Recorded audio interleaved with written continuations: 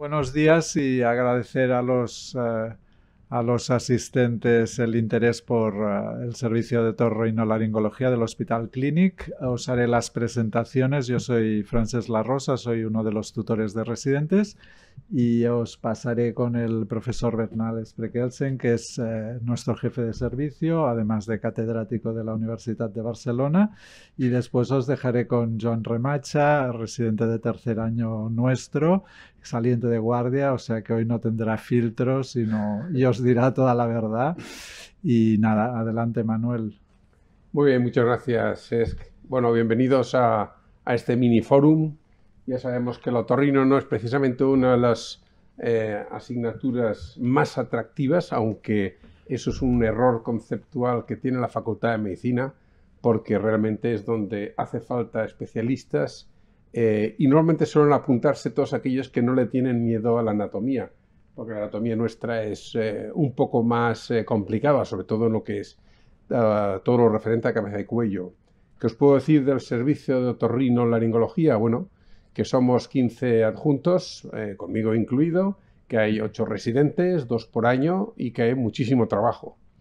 Las ventajas que tendremos, pues que estamos involucrados en la mayor parte de investigaciones eh, que ocurren en el país, con lo cual pues podréis, si queréis, publicar o acabar la tesis doctoral, podéis participar en escribir artículos, en escribir capítulos de libro, porque siempre estamos involucrados en un libro de texto u otro, podéis participar en actividades de presentación en congresos porque eso lo vamos a estimular y sin duda alguna vais a tener muchísimo trabajo tanto en consultas externas como en quirófano y en las guardias que son eh, potentes, por decirlo de alguna manera ah, interesante, pero yo creo que es donde se va a aprender, que es lo que os interesa a largo plazo. Resaltar pues, que el servicio torrino lleva bastantes años como tercer mejor servicio considerado en territorio nacional, lo cual pues eh, no deja de ser un orgullo, y que además pues obliga un poco a mantener ese nivel por, parte nuestra. Yo creo que todo lo demás y todos los pormenores eh, os lo dirá el doctor, casi doctor Joan Remacha, eh, y os explicará qué es lo que se espera si acabáis eligiendo el servicio torrino del Hospital Clinic, que es un hospital muy competitivo y que pues, obliga a estar un poco a pie de cañón de muchas cosas. Os lo dejamos con ellos. Muy Bueno, pues muchas gracias. Em, yo os hablaré un poquito, como he comentado, soy Joan Remacha, soy el residente, uno de los residentes de tercer año, junto con la doctora Ruiz. Y bueno, os comentaré un poquito desde el punto de vista del residente, cómo es la, especialidad de otorrino aquí en el Hospital Clinic. Como muchos ya sabréis y os habrán comentado quizá en las charlas previas, el Hospital Clinic es un hospital de tercer nivel de alta complejidad, ¿vale? Tenemos una población de referencia de aproximadamente medio millón de, un poquito más de medio millón de habitantes. Cogemos buena parte del centro de Barcelona y la parte tocando a Hospitalet.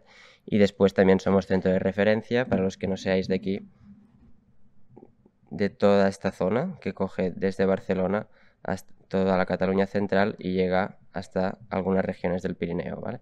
De acuerdo, entonces tenemos aquí eh, una gran cantidad de población de la que somos centro eh, de tercer nivel de referencia. Además, aparte del hospital, estamos en contacto con el Instituto de Investigación, que es el IDIVAPS, y eh, también muy en contacto con la Facultad de Medicina, que es prácticamente forma parte del mismo edificio del hospital y, bueno, estamos eh, un poquito en estas tres áreas. Eh, ¿Qué hacemos desde, desde Otorrino aquí en el hospital? bueno, hacemos muchas cosas. Básicamente nuestro día a día se basa en consultas externas, quirófano y el, y el pase de sala y de urgencias.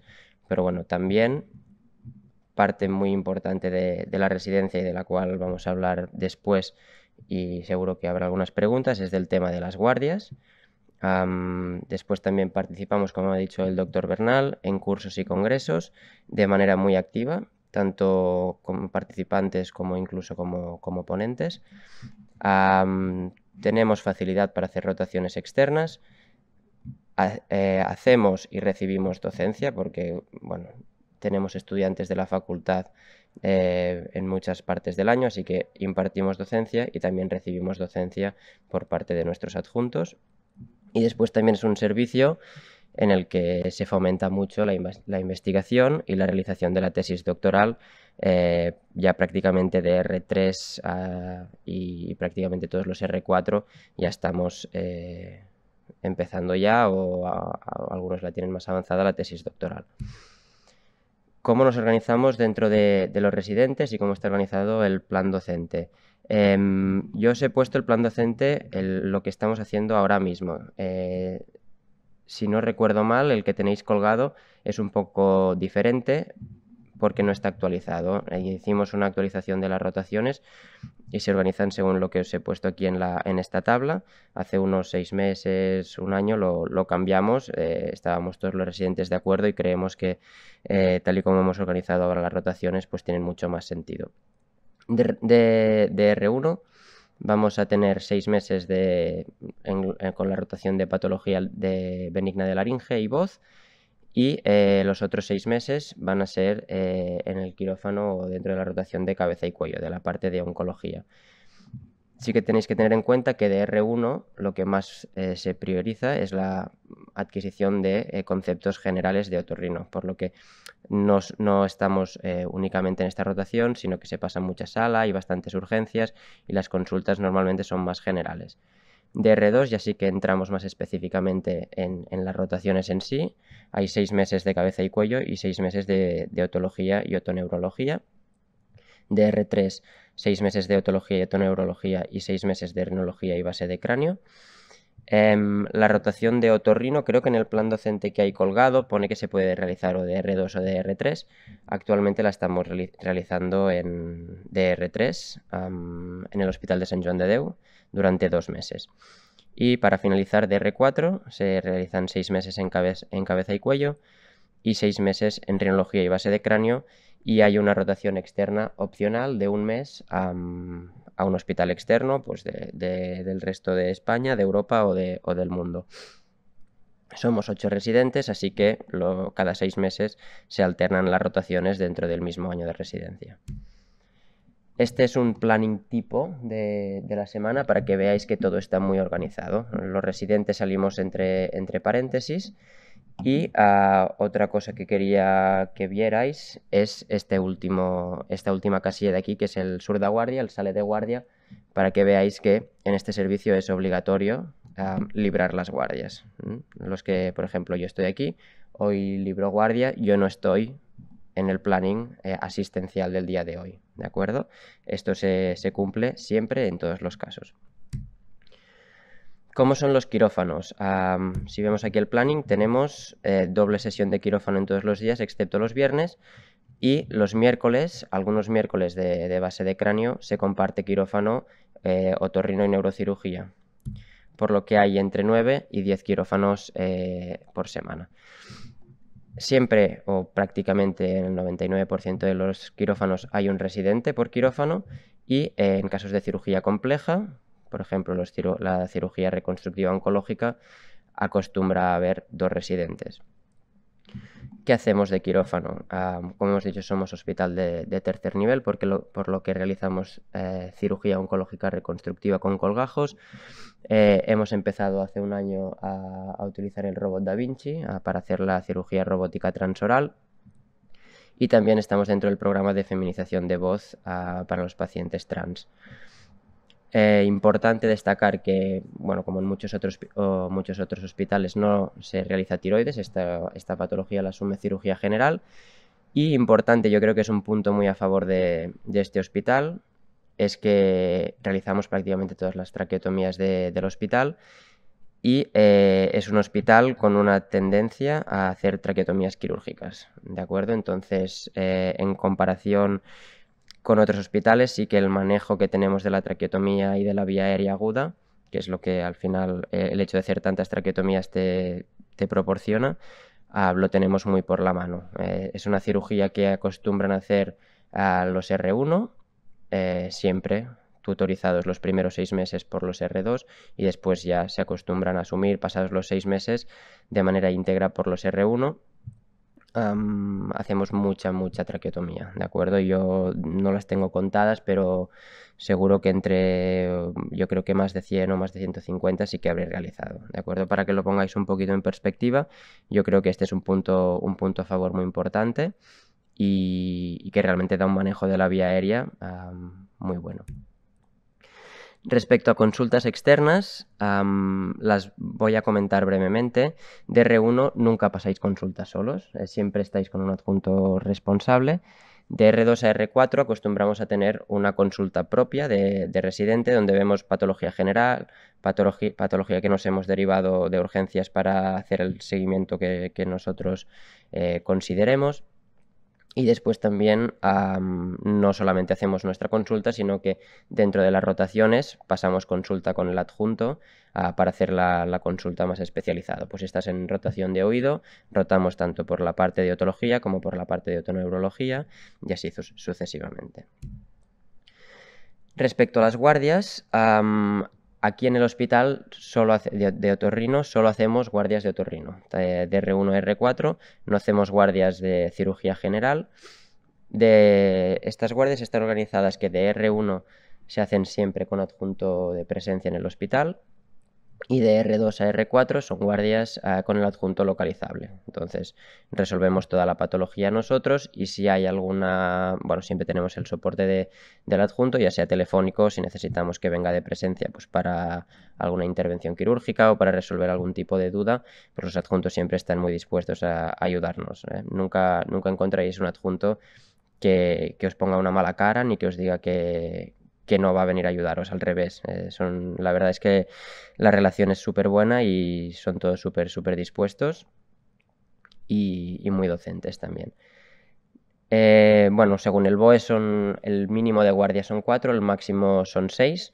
Normalmente acostumbramos a hacer entre cuatro y cinco guardias, depende de bajas, depende que ahora en el COVID pues ha sido un poquito más, más complicado cuadrarlas, pero en ningún momento hemos superado las seis guardias y se libran siempre. Como, como, os he comentado, está dentro del planning ah, semanal quien libra la guardia y esta persona no va, no va a tener la eh, actividad docente o asistente ese día. Eh, respecto a la parte de docencia, ya os he comentado que tanto recibimos docencia como impartimos docencia a los estudiantes que vienen a rotar cada día se hacen sesiones clínicas donde comentamos a las 8 de la mañana empezamos, eh, hacemos el pase de sala, se comentan los pacientes más destacados de, urgencias eh, y algunas interconsultas que tengamos que sea necesario comentar para que el servicio las conozca. Y después todos los martes tenemos lo que llamamos la sesión de, revisión, eh, en la cual participamos tanto residentes como los miembros de staff, los adjuntos, en la cual un miembro prepara una revisión y ampliación y actualización de, un tema. Después, todos los miércoles, eh, los residentes hacemos una sesión para todo que preparamos únicamente nosotros, cada miércoles un residente, y la realizamos tanto para residentes y como para todo el resto del servicio en la cual eh, exponemos cada semana un artículo reciente del último mes, últimos dos meses, para mantenernos actualizados en los diferentes apartados de la especialidad. Desde hace aproximadamente un año hemos empezado a, hacer clases. Eh, cada dos miércoles más o menos hacemos clases de actualización eh, de las diferentes subespecialidades. Tenemos un laboratorio de disección de, hueso temporal propio. está 24/7 para nosotros, está dentro del servicio, con lo que lo podemos utilizar siempre que queramos, cuando queramos. está a nuestra plena disposición. Y después eh, participamos en cursos, eh, tanto de, como participantes, como, eh, por ejemplo, en algunos de oído participamos también como ponentes. Es un hospital que, bueno, para aquellas personas que o os guste más, tener un poquito más de autonomía, eh, os lo garantiza, ¿de acuerdo?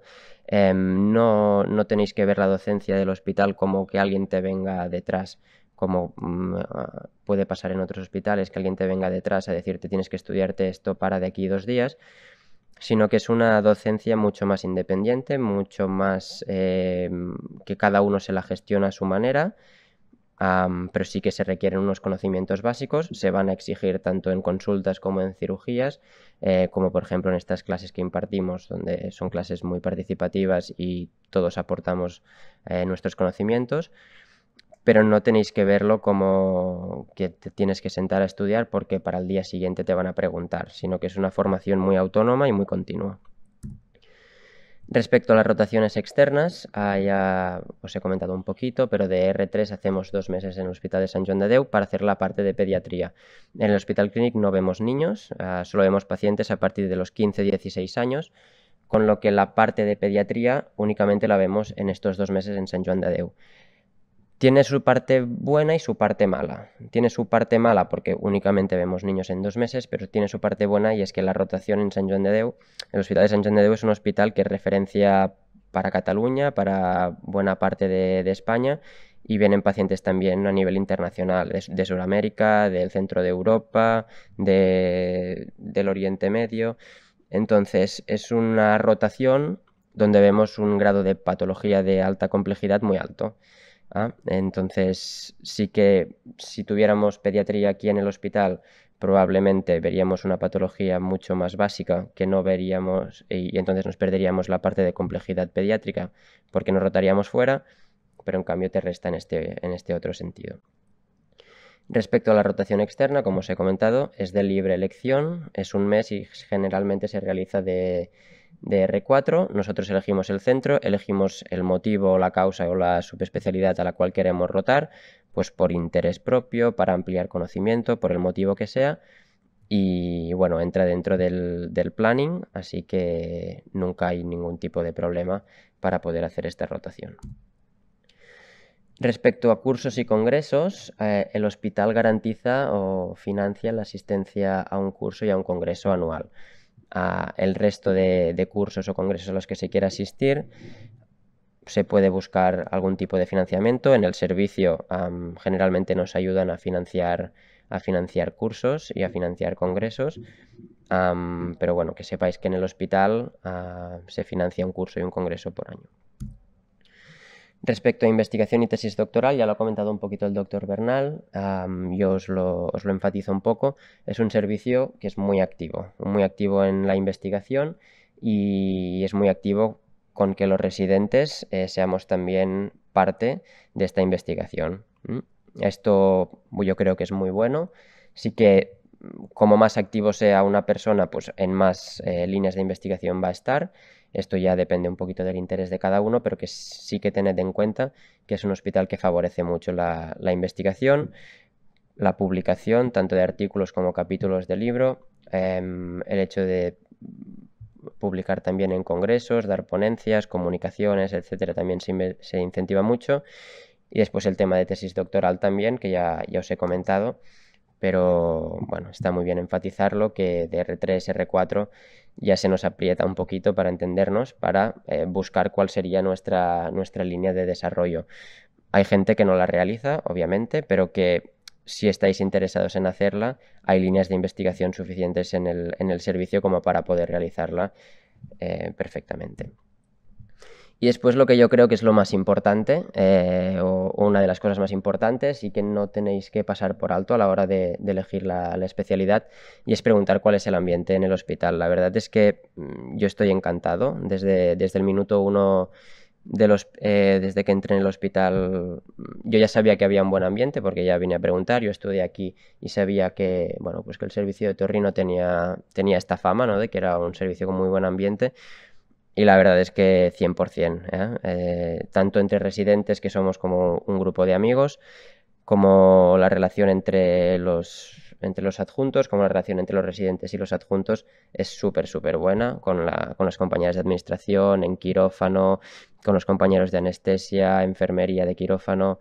Es una relación muy, muy familiar. Somos un servicio relativamente pequeño, con lo que se favorece que haya un buen ambiente, que todos sepamos un poquito de, un poquito de la vida de los demás y estamos, la verdad, todos muy, muy, muy contentos, muy bien conectados y, el ambiente es muy, muy bueno.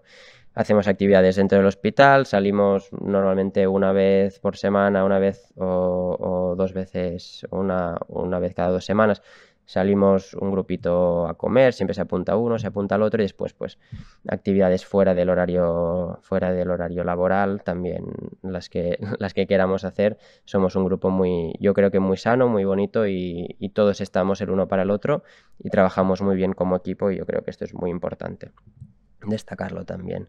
Y creo que también es una cosa que tenéis que tener en cuenta a la hora de elegir y preguntar en todos los hospitales. Así que sin más, eh, espero que... Bueno, espero vuestras preguntas. Eh, aquellos que decidáis elegir el, el, Hospital Clinic, yo con la mano en el corazón os lo digo, creo que es una muy buena elección. Y creo que es un hospital que nos da muchas posibilidades, que aprendemos muchísimo, desarrollamos un grado de autonomía que yo cuando entré de R1 eh, ni sospechaba que, que, pudiera llegar a tener y la verdad es que nos desenvolvemos muy bien favorecen mucho nuestra, nuestra docencia, favorecen mucho nuestra, bueno, que cada uno desarrolle su potencial. Así que aquellos que lo elijáis, pues seguro que será una, muy buena lección y seréis muy bienvenidos. os dejo aquí un par de correos y dos números de teléfono de nuestras R1 por si eh, queréis contactar con ellas. Eh, ha pasado que en las últimas horas antes de la elección del MIR hay llamadas de última hora o hay eh, audios o mensajes de WhatsApp de última hora. Así que os recomiendo que os los apuntéis por si tenéis dudas de última hora que os podamos ayudar.